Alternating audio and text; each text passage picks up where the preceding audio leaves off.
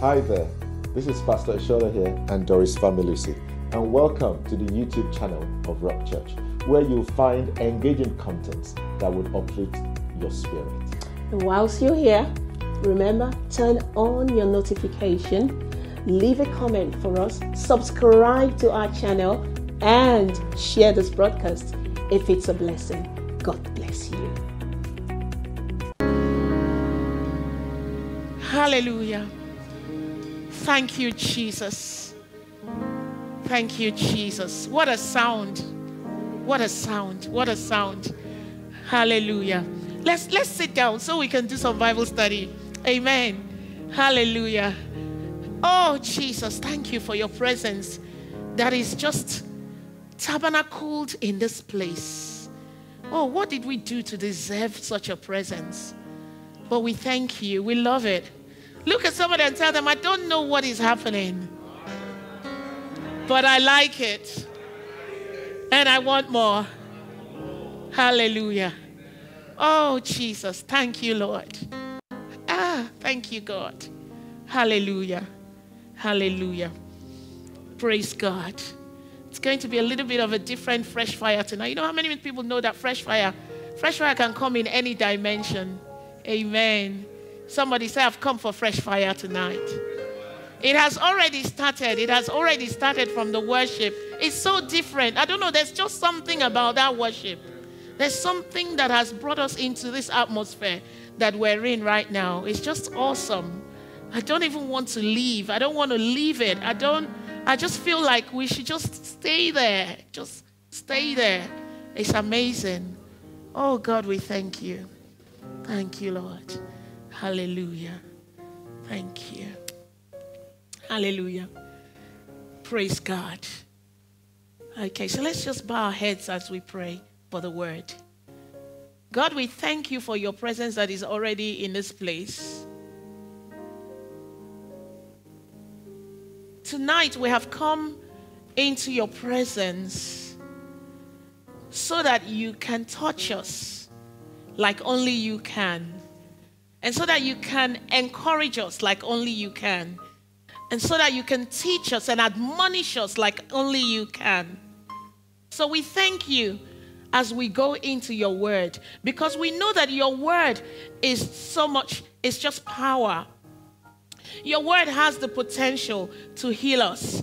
Your word has the potential to change us. Your word has the potential to, to transform us into that man into that new man that you want us to be. It, it has the potential to bring hope into our lives and into our situation. It has the potential. It has the potential. And so we, we, we, we lean, lean into your words tonight. And as we study tonight, Father, open our, our eyes of understanding.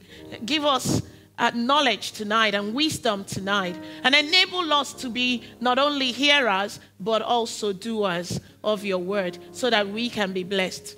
In Jesus' name, amen and amen and amen. Hallelujah. Please look at somebody and tell them 160 30. Amen.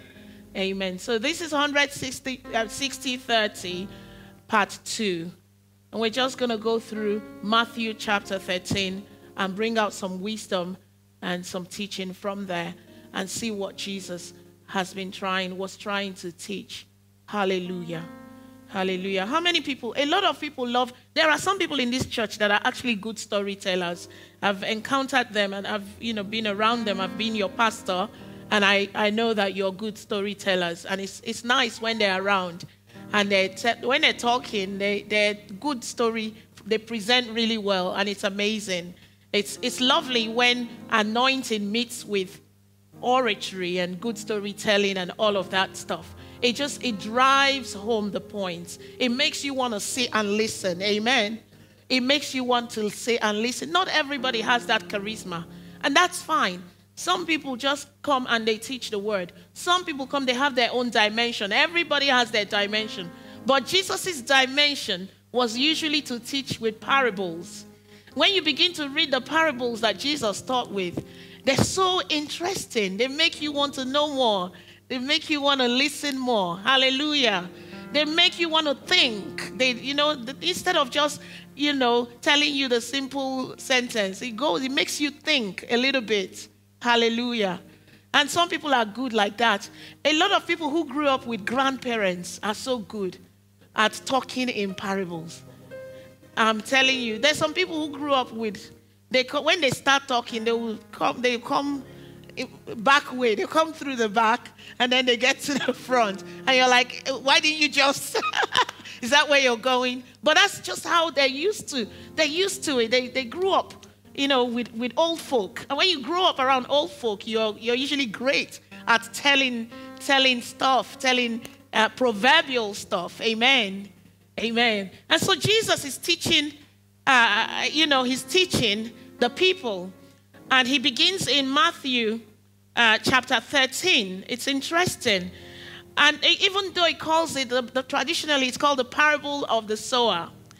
But it says, if we, if we can all go there, amen. Matthew chapter 13. If we can have the NKJV or whatever is possible to have, amen. So the same day went Jesus out of the house and sat by the seaside. And great multitudes were gathered together unto him, just like we're gathered now in his house you know, now we don't have to be out. Sometimes we can have crusades and all of that outside. But now we come into his, sometimes he teaches in synagogues as well. So, like you're sat, there will be times when Jesus would have been teaching and people are sat in the synagogues and people are sat in uh, places and clusters of places. But this time he was talking to a great multitude. Amen. He was talking to a lot of people. And and he sat, and the whole multitude stood on the shore. And he said many things unto them in parables, saying, Behold, a sower went forth to sow. Somebody say, A sower went forth to sow. Hallelujah. Can you stop that there and bring up Psalm 126? How many people have been able to memorize Psalm 126 now? Praise the Lord. Amen. Amen. When the Lord turned the captivity of Zion, we were like them that dream. Take it away. Remove it for a minute. Amen. Okay, verse 2. Filled with, and our. Then said they amongst the, the Lord has done great things for, wherefore no, the Lord has done great things for us. Wherefore, turn again our captivity. They that sow shall reap. He that goeth out bearing precious seeds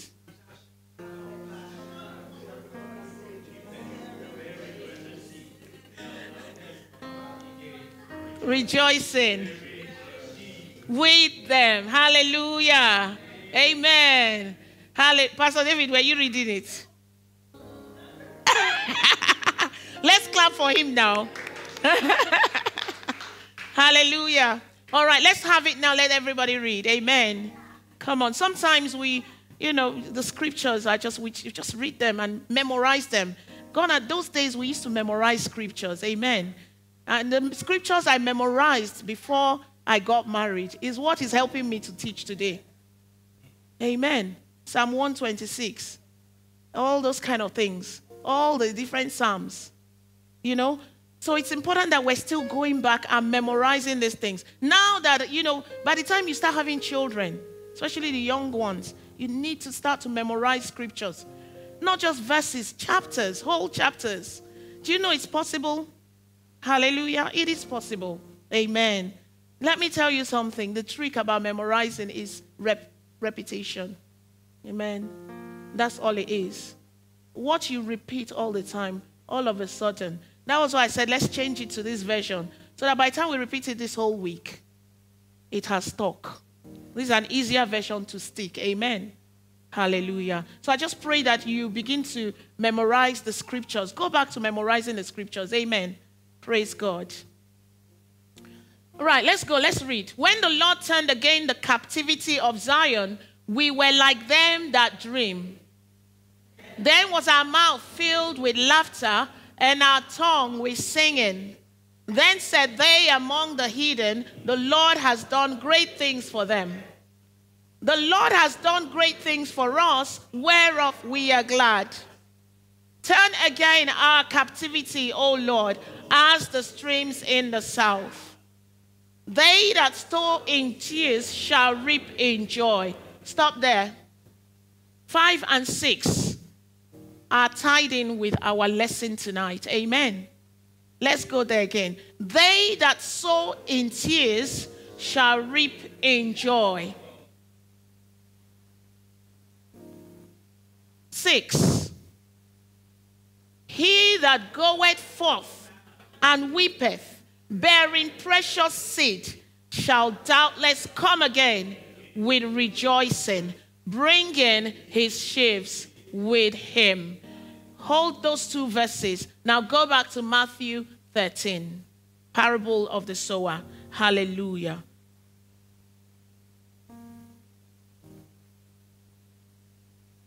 Look at somebody and tell them, make sure you are continuing to sow. Sowing seeds, seeds of love, seeds of laughter, seeds of finance, seeds of helps, seeds of good works, seeds of time, seeds of there was somebody, somebody, somebody said something there. All manner of seeds. Seeds of smile. Yes. Yes. Hallelujah. Amen. Amen. Some people say, Nobody has smiled at me today. Who did you smile at? If you smile, people will smile back. Amen. Hallelujah. So when you smile, either the Bible says that a, a friend, a friend, what's that scripture, Pastor Do? Must show himself what? At all times. If you want friends, you too must be friendly. Because I don't have friends, I don't have friends. Are you a friendly person? Amen. Whatever you sow, you will reap. Hallelujah. Parable of the sower. Behold, a sower went out to sow. Behold, a sower went out to sow. Remember, Psalm 126, verse 5 says, He that sows in tears will reap in joy.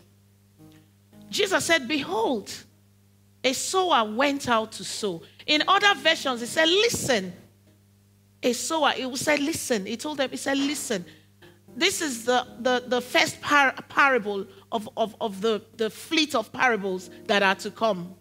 And even whilst he was giving that parable, he actually did say that if you don't get this one, it's going to be hard to get the others. Get yourself ready to understand what I'm saying. Amen.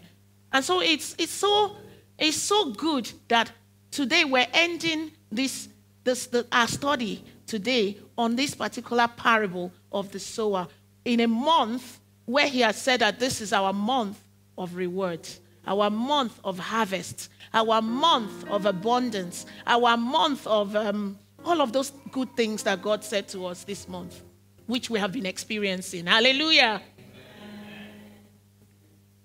It said, Listen, behold, a sower went to sow. That means pay attention to what I'm trying to say to you. This is really important. And as he sowed, some seed fell by the wayside. Somebody say wayside.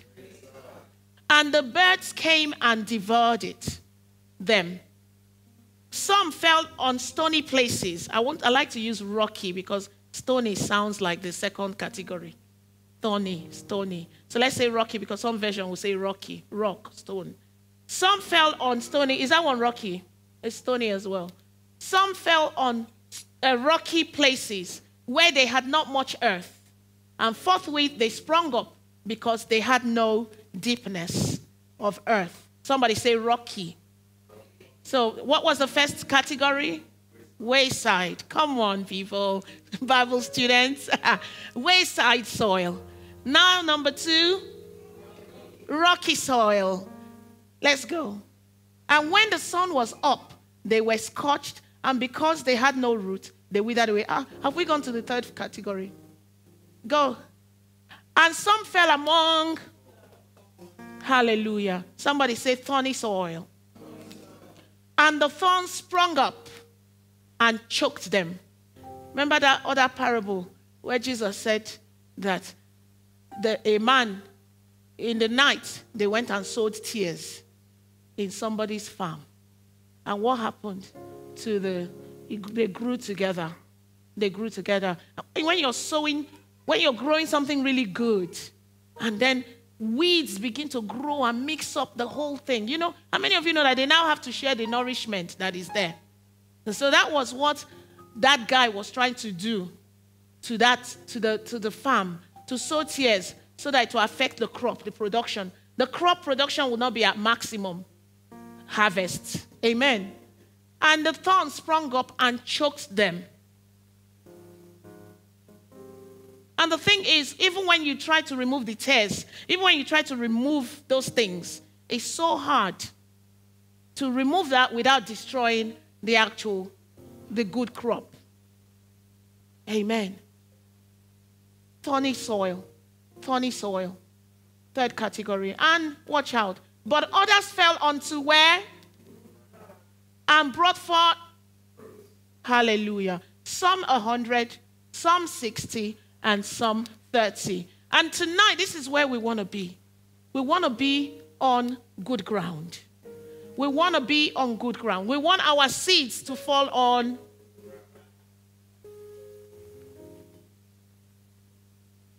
some 100. Actually, I went and looked at Luke's account. I went and looked at Luke's account, Mark's account, Luke's, Luke's account only says a hundredfold. It didn't even say 30, 60. You know, I, he's so brief. he's so brief. it just said, and they, they, they got a hundredfold. And, but Mark's account actually started, he said some 30, some 60, and some 100. I said, oh, the other way around. That's good. Some 30, some 60, and then the maximum. Amen. But Matthew started with the maximum. he said 100, just in case you don't realize that you can actually get the maximum yield. You can get the maximum yield. You don't have to go for crumbs. Amen. But there's a time when crumbs are good. but if there's hundredfold, why not go for gold? Amen. Who goes to the Olympics to want bronze and silver? When, when we get there, and that's what we can get, that's, you know, then we take that. But first of all, you go for gold. Amen. Somebody say, I'm going for the hundredfold harvest. Amen. And Jesus, another place where you it talks about in the Bible, it doesn't say hundred. Do you know in the Old Testament, there's only one, one, there's others in the New Testament, but there's only actually one that it refers to a hundredfold, and that was with Isaac. Amen. Genesis 26. Hallelujah. Can somebody let me see if I, I actually Genesis 26 from verse 12 to 13. The NLT says, When Isaac planted his crops that year, he harvested a hundred times more grain than he planted for the Lord blessed him. He became a very rich man, and his wealth continued to grow. The Bible says he got 100 times. Let's look at KJV. Say, Isaac sowed in that land. Somebody use the word sow. Say sow. And then reaped in the same year. Say reap. And a hundredfold.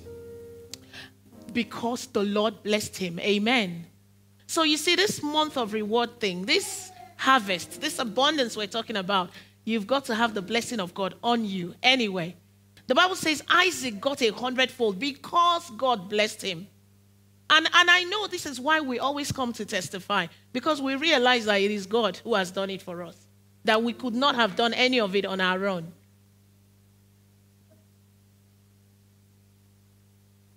Isaac sowed in the land, reaped in the same year a hundredfold. The, and the Lord blessed him. the man began to prosper and continued prospering until he became very prosperous. Oh my God. You prosper and you continue prospering until you become very prosperous. Who was it? Pastor was praying and he used the word very. One of there was a time he was praying yesterday morning or the one the day before, and he used the word very. Amen. Said he prospered and he continued prospering and he became very prosperous. Another three levels of prosperity. Somebody say, I'm flowing in that level. I'm prospering and I'm continuing to prosper and I will become very prosperous. Amen. Amen. But I love how the King James brings that out and says he reaped a, in the same year a hundredfold. So we can reap a hundredfold.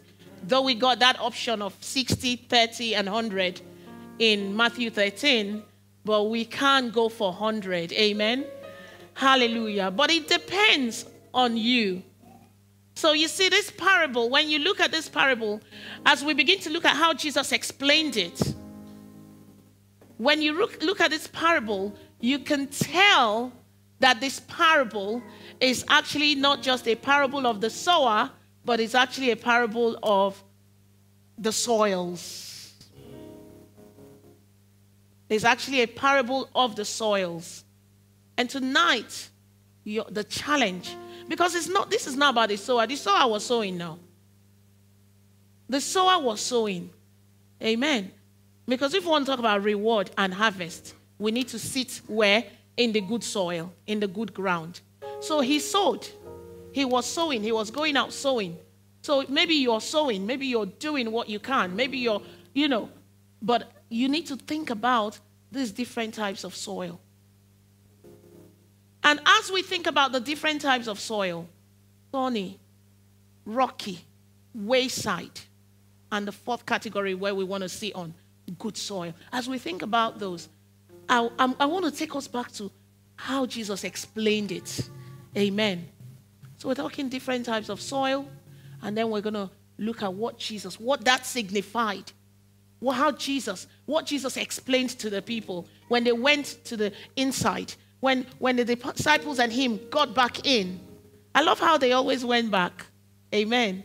Um, into the inside, inside. They say, Well, Master, well, how did you do this? But what do you mean by this? They didn't all they didn't tell him in the multitude.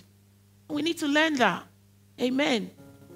If you have a question to ask your pastor, if you have a suggestion, if you have a you don't just open your mouth in the multitude and say, But Pastor, this is what I think. They will always go back to him and say, Hmm, Jesus, explain this and this and this. Tell us how is this going to happen? Or how is this going to be? Or how? Do you see what is happening here? After they left the multitude, so they too were wondering, what is he saying? so whilst he was teaching, they were wondering too. And they came back and asked him, Why are you always teaching in parables? They didn't ask him in front of people, Why are you always teaching in parables? We don't even understand you. As for me, oh, I think you should teach A, B, C, D. Who are you? Ask somebody, say, Who are you? To tell Jesus what to do. They went inside to go and tell him, to ask him, say, Why are you always teaching in parables? Why? They were not afraid. And that's, that's you, there's a difference between, ah, we can't ask Jesus. There's a difference. They were not afraid to ask him, but they knew where and when and how. Ooh.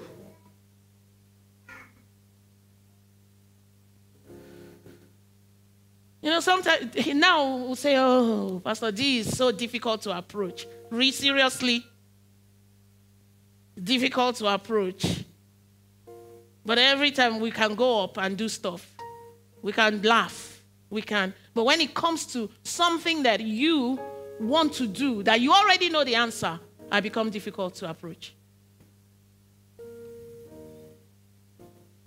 when you know, you already know. Isn't it's interesting? Children already know their parents. Children already know their parents. When you already know your mother or father will not allow you to do that thing, you already present a defense and a No.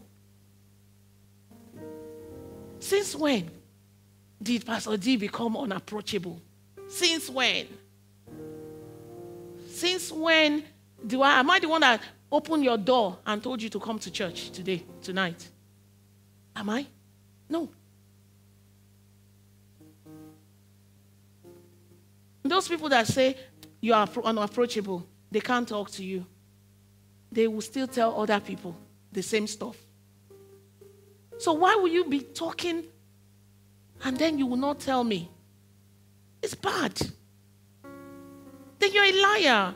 It's really not because you think I'm unapproachable, because you know the answer. Because you know I won't support what it is. Or you know I won't have it. Or you know I'll tell you off. Or you know I will correct you properly. Instead, you will go to all those people that have no sense, no spiritual sense. They'll support you in the bad that you're doing. That's not the essence of Christian faith and Christian walk. You must correct people. Paul said to the Thessalonians, Tell those unruly people. he said, And tell, when he wrote the Thessalonians, he said, And tell the unruly people. That means tell people, rude people, unruly people, people who are behaving badly. It's our duty to correct them. Amen. Because correcting you means it's the best for you. We're doing the best for you. I love correction. I do. There's so many people here that have corrected me. The only problem is that when a leader stands and is teach, you know, when a leader stands there, some people just put that. No, okay, you know, these are the leaders and we are here. If we say now, they won't hear. No, that's a lie. Every time you've said, we've heard. Every time you've said, we've heard. Every time you've said, we've heard. So, where do we get that? If we say now, they will say, somebody say, kill that. No wherever anybody comes with that kind of thing, kill it. Kill it. And say, no. They will listen to you. They always listen to us. Even when they tell you, oh, maybe it's only you they listen to. No, they listen to everybody. We listen to you and you and you and you and you. I don't even know why this has brought us here. Okay. Let's go back to sower, farmer. Hallelujah. We listen to everybody. We listen to you and to you and to you and to you and to you. Even things that people will just tell me out of the blues. Pastor, do don't you think we should do this? I go and think and I go come back. Say, well, I've, I've, done, I've done that. There was something I, I was not supposed to do. Today I called Auntie Sister. I said, Sister I did this, I've done this, I've done that, I've done that. She was like, ah, thank you, Pastor. There are some, there's nothing. Nothing. Because when you tell us what is good, we will do it because it's a good thing. Amen. If you love your pastor, you will care for them. You will tell them good things. You will tell them what is good for everybody. You not sit somewhere and say, you know, I don't know if they will listen to me. They never. Since when did we never listen to you? Amen. Hallelujah. Of course, if you say something that is faithless, you can bet yourself we're not going to take that. That is the only time Pastor Shola will not listen to you. If you say something faithless, completely faithless, because he's a man of faith. If you walk out of flesh, if you're walking in flesh and speaking in flesh, talking in flesh, the last time somebody told him not to set up rock solid, that he didn't think it was time. God was asking us to do rock solid. Five years later, the guy came back to him and said he wants to go and help and teach young people. Pastor said, eh. and then he said, Pastor said, remember when we were about to set off? you said, no, it wasn't. He was like, this is so good. Look at young people. He went for one program on campus. He saw young people. oh, pastor said, wow, look at young people. You know, we can do this. We can teach them this. Pastor was just like, wow. So when you come with flesh and faithlessness, we will not listen to you. But anything that you tell us, anything good, we will listen. Why won't we listen? Hallelujah. We'll listen and we will do it. We'll listen and we'll wait before God, rather, and then do it. Amen. Oh, by the way, the, the, the, the Monday morning altar that is meant to happen here, just to say it's going to happen on Thursday. Amen. Amen. It's going to happen on Thursday. Praise God. Hallelujah. Praise God. Because we listen. Amen. We hear you. Somebody say, Pastor hears us. Oh, we hear you. It's only if you don't try. Then you won't try, you'll be out there imagining and assuming all things. No. Amen. Why are we still here? Let's move. Let's move. Amen. Others fell on good ground and yielded a crop, a hundred, a sixty, thirty. He who has ears, let him hear. He who has ears to hear, let him hear. I'm going to just uh, say this and then we'll pick out two things and I'll close. Uh, I'm not going to uh, take time, but I, I, know that this parable is, is an interesting one that um, it's important that we just, that we actually go back and study this parable because we will understand how this month has gone by the time we look back at this parable. Whatever you achieved in this month, whatever you got or didn't get, you, I want you to go back and review this parable. How did I sow? How was my heart? Let's look at what Jesus, yeah, that's where we're going. How Jesus explained it. And the disciples came and said to him, Why do you speak to them in parables? Oh my God, I love this. I love this. I just got something. Did you get this now? He wasn't even saying, Why do you speak? They didn't ask him, Why do you speak to us in parables? Come on. It was okay. They were fighting the corner of the multitude. So sometimes when you're fighting the corner of the multitudes, you need to know how to do it. Oh my God. This is so good. It said, they said, Why do you speak to them in parables? In other words, they're trying to tell Jesus that these people don't understand these things you're saying. How, how are they going to understand this thing you're saying?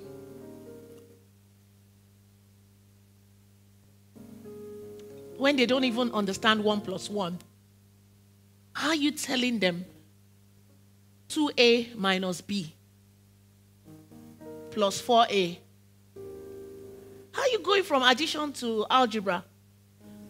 When somebody does not even understand the basic building blocks of adding, and you're now talking algebra, it's not going to work. But Jesus said to them, Jesus said to them, He said, Because it is been given to you to know the mysteries of the kingdom of heaven, but to them it has not been given. For whoever has, to him more will be given, and he will have abundance.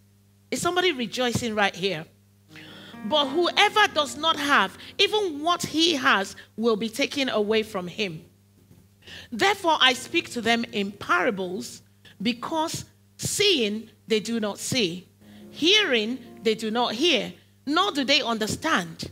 And in them, the prophecy of Isaiah is fulfilled, saying, Hearing you will hear and, and will not understand and seeing you will see and not perceive.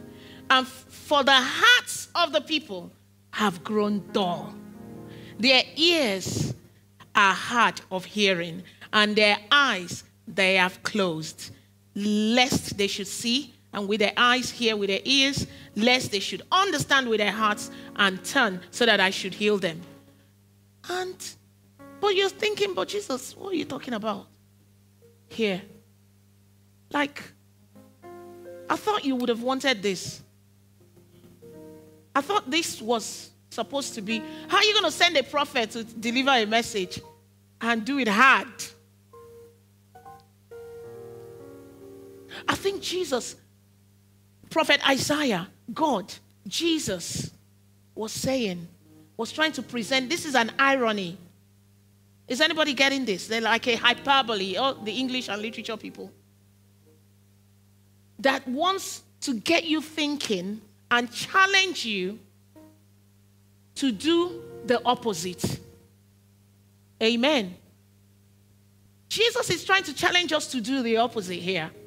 In other words, that's why I said to them in Jeremiah chapter 4, verse 3 to 4, when he said, Don't break up the fallow grounds, don't sow on thorny places.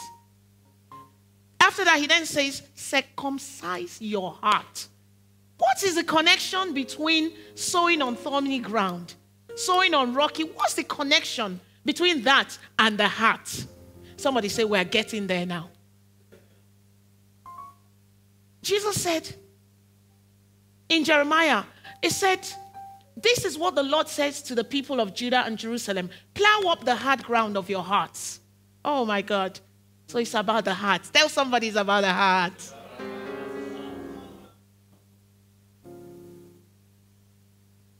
You didn't get hundredfold this month? Oh, they said it was month of reward, but nothing happened for you. They said it was month of harvest, nothing happened for you. They said it was month of abundance and prosperity, yet nothing happened to you.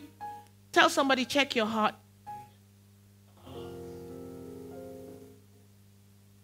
It said, plow the hard ground of your hearts. There's no wonder it said, guard your heart with all diligence. Proverbs 23, is it 423 or 23 4? 423, Bible scholars. Come on. Nobody's even correcting me. Thank you, sirs. And he said, For out of it are the issues of life. Guard your heart with all diligence, for out of it are the issues of life. Jesus says to us the seed, what Jesus is trying to explain to them. So he said, But blessed are your eyes, for they see, and your ears, for they hear. For assuredly I say to you, that many prophets and righteous men desired to see what you see, but did not see it, and to hear what you hear, but they didn't. Hallelujah what we have. Jesus talking about this, this is not about seeing what, you know, Father, this is about Rhema. This is about understanding, having revelation per season, per season of God, what God wants for your life. This is about Rhema. This is about walking in a revelation of God. Amen. So as we end this month, amen, we need to be saying, Father, what do you want for us in the next month? We need to be praying. How many have started praying for what He's going to talk to us about? August. Thank you. That's right. Lord, what is the word? What are you going to be? What do you want us to focus on in August as a month, as a people? Amen. What would you? So, as we end this and you're thinking and you're looking at your heart, looking at the field of your heart, the field of your life, really. Because the Bible says in Proverbs 4:23, to guard your heart because out of it are what? So your heart and the field of your life. Everything depends here. Hallelujah. But and then God gave the people the answer when he told Jeremiah, ah, we need to be teaching Bibles on fresh fire like this. Hallelujah. He now, even me, I'm enjoying the word. Amen. How many are enjoying the word? Amen. Hallelujah. He now told, see, see, see, he now told, Jeremiah now said, Oh, people of Judah and Jerusalem, surrender your pride and power. Change your hearts before the Lord. All my anger will burn like an unquenchable fire because of all your sins. Hallelujah.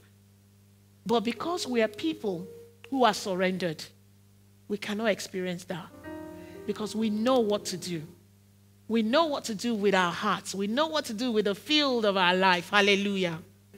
Let's quickly read so that we can I can uh, allow the next 10 minutes for stop for other things. Amen. Therefore, hear the parable of the sower, Jesus says. When anyone hears the word of the kingdom and does not understand it, then the wicked one comes and snatches away what was sown in there. Somebody says about the heart. Then the wicked one comes and snatches away what was sown in their heart. This is he who received seed by the wayside. Somebody say, wayside seed. But he who received the seed on stony places, rocky places, this is he who hears the word, immediately receives it with joy. Oh, it was great. How was the word today? Great. How was the word today? Awesome. Plenty of English. How was church today? Wow, fantastic. Ask them, what did they preach? Can't remember. It was hot. Ah, pastor was too hot. What did pastor say? Um, have people seen that meme of that video going around of the beauty pageant Miss Nigerian girl that they asked, Who is the vice president of Nigeria? Beauty pageant. Girl was empty. Said, First of all, she said, Thank you for that question. you would have thought she knew the answer. Thank you very much for that question. The president of Nigeria is Femi Obasanjo. The vice president, rather. that was funny. What did they do in church today? How was church? It was hot. It's good. Pastor was on fire. What did they say? Pastor D was just prophesying today. What did you get out of it?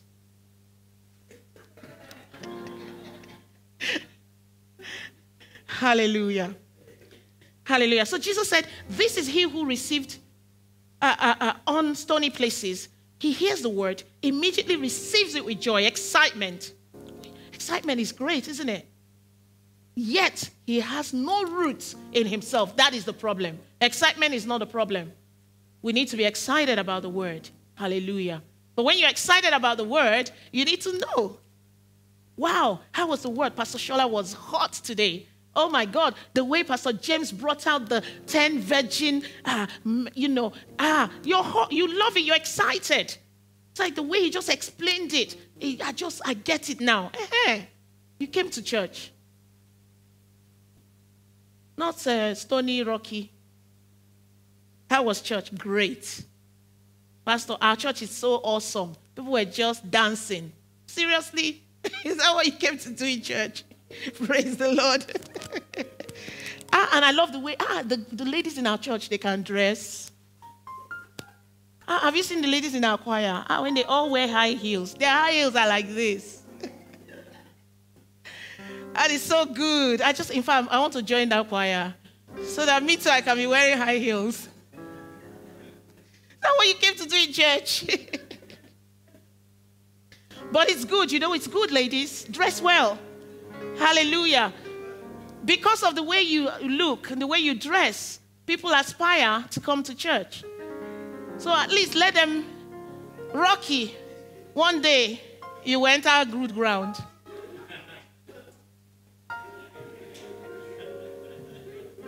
Hallelujah. But who received but he who received the seed on stony places hears the word and immediately receives it with joy, yet he has no root in himself, but endures only for a while. Oh, endures only for a while. Endures only for a while. It's a heart condition. It's a heart condition. Excited today, excited tomorrow. On Thursday, it doesn't happen. Everything. God has now become untrustworthy because it just didn't happen. No. No. That is rocky ground. That is rocky ground heart. Hallelujah. Endures only for a while. But when tribulation and persecution arises because of the word, immediately they stumble. Now, he who received seed among the thorns is he who hears the word He hears it all right. And the cares of the world, the deceitfulness of riches, choke the word. And he becomes unfruitful. Ah, no reward. They say July is the month of reward, but no reward for this person. Why? Thorny ground. Why? Thorny ground. Becomes unfruitful. Somebody say, God forbid. 23, he said, But he who receives seed on the good ground is he who hears the word and understands it, who indeed bears fruit and produces. Hey! Somebody say, My July, my reward. This is the reason why it went however it went. Hallelujah. I want you to be on your feet tonight. Hallelujah. I'm going to stop there. There's a couple more points, but we'll, yeah, hallelujah. Give Jesus a hand if that was a blessing to you. Hallelujah. Thank you, Lord. We'll, we'll, we'll stop there. There'll be another time. Amen. That's how to be on time. you don't just carry on, even though you have stuff to still share. It's enough for today. We got enough. At the end of the day, it's about the heart. But as I close and as we pray, I want you to bring to light what Jesus first said when he first said in the first few verses, he first said, Listen. In, in KJV, he said, Behold. In NLT, he said, Listen. When he was talking to the people, he said, Listen. So in, it's important. Your heart condition is determined by how you listen. Amen. But not only because how you listen, you know, not only because there's a difference between listen and hear.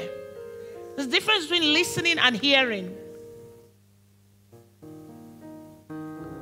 So tonight we're going to pray because the difference is in listening. Jesus said, Listen, a sower went out to sow. Listen. Then, after those two or three verses, he now said, Let him that has ears hear what? Hallelujah. So it means we need to hear, we need to listen here, and we need to take heed and obey so that our obedience can be complete. Amen. Begin to pray. Say, Father, help me. Help my heart. Help me to understand how to guard my heart. Help me to understand. Do you know what I think? Hallelujah. As we pray, do you know? I think the problem is not just, the problem is that in life, each and every one of us, when I was talking about the field of life, out of your are the issues of flows, the issues of life.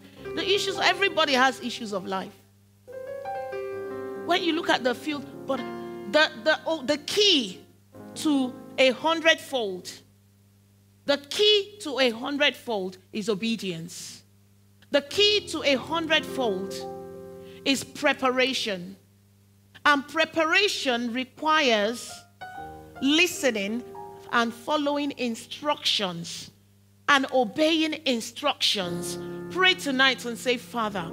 Because did you know that? Did you know that people that don't listen are rebellious?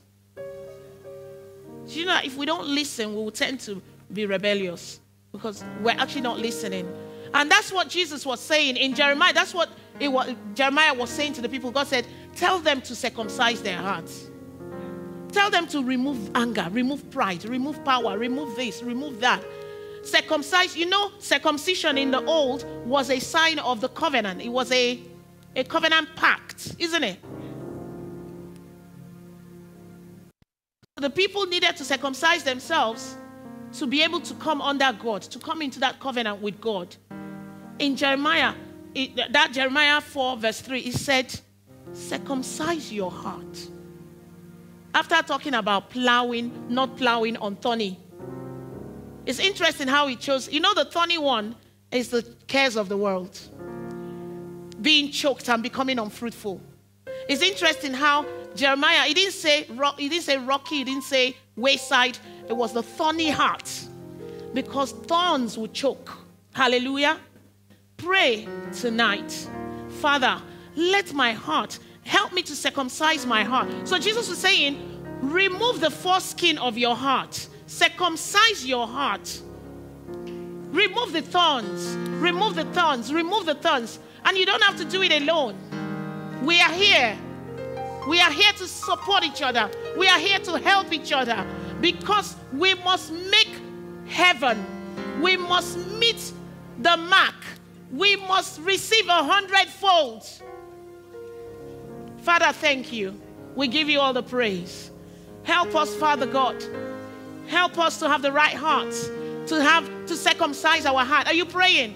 Are you praying? Say, say, Lord, help me navigate the field of my life so that I can remove the rocks and the thorns and the dirt.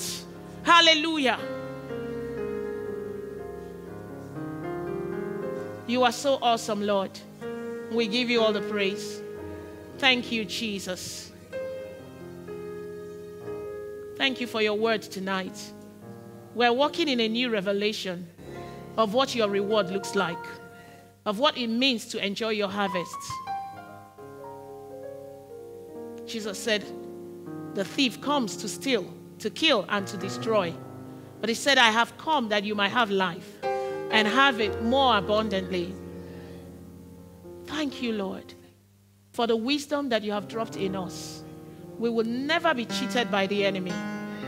In Jesus' name. Amen. Hallelujah.